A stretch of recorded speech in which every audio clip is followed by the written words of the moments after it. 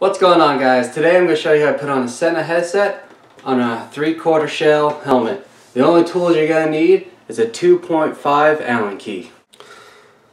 So the headset I'll be putting on today is just your basic Sena headset. This one is capable of connecting to your phone and four other Sena headsets. It doesn't matter what model they are because I also have a Sena S or 10S which is on my full face. This one connects to the live wire on my Harley and if you need to know more about that go check out my other video. I did a review on that. So this one I'm connected to my three quarter face because every time I'm wearing this helmet I'm always with my girlfriend who's riding on the back with me and I just need to talk to her. I don't have to call out through the bike. So let's go ahead and get this put on this helmet. Helmets are held together by duct tape and zip ties. Not really. They're actually held together by uh, Velcro. So first thing you want to do is remove the neck collar. This helmet just has a metal wire inside this one that just kind of snaps in place. Once you get that out of the way, you want to go ahead and remove the padding where the speakers are going to go. This one just has two buttons and they just pop right out. Once you get those two ear pads taken out, you want to go ahead and get your mounting hardware for the Bluetooth onto the helmet. And that's really simple. You grab the your 2.5 Allen key. You got these two screws right here. And you just go ahead and just loosen them up a little bit. Which therefore will make this plate move back and forth like so. And you want to mount it on the right side of the helmet. And there's usually a gap right here between the padding between the padding and the helmet. You're going to slide the back plate right in there. Gotta loosen up just a little bit more.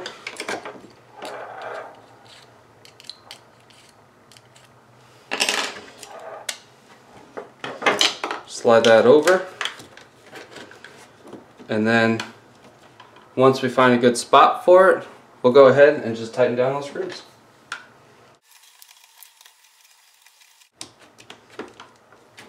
Now that's nice, nice and tight and secure, we have to run the headphone or the ear speakers and the microphone.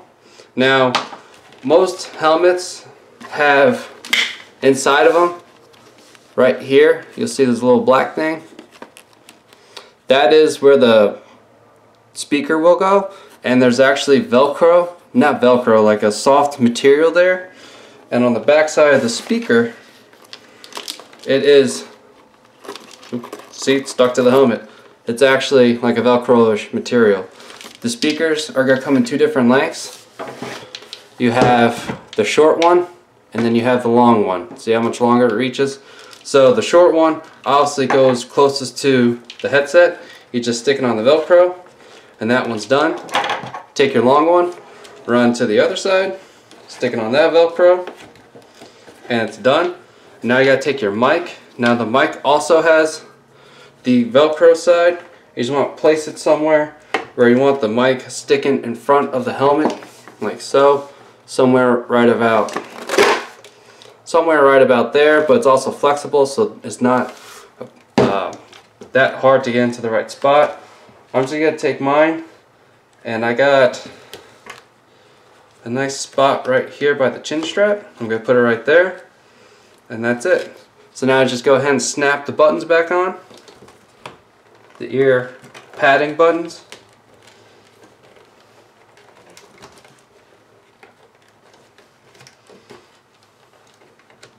Tuck some wires away.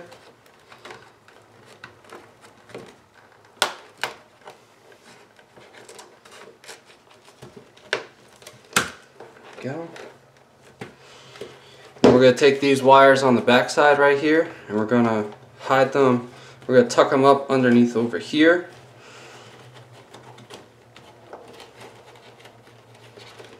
We're going to go ahead and snap the other one.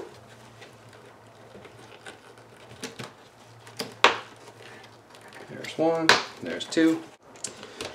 Once you get the speakers in on the ear holes, you snap them back together.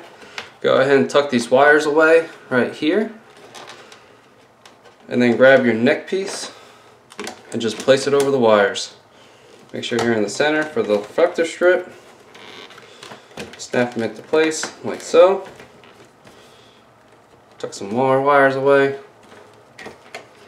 And then that's it. Now you got a nice clean installed headset on the helmet. You got your microphone right here. Very easy to just move out of the way, up, down, doesn't matter. And you're able to talk to four people while you ride. Alright, that's it for now. See you guys next time.